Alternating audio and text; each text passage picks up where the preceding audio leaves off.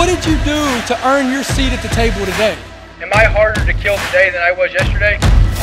They put on that badge every morning to serve you. They put their lives on the line to protect you. The first thing that happens with stress is you start losing your small motor skills.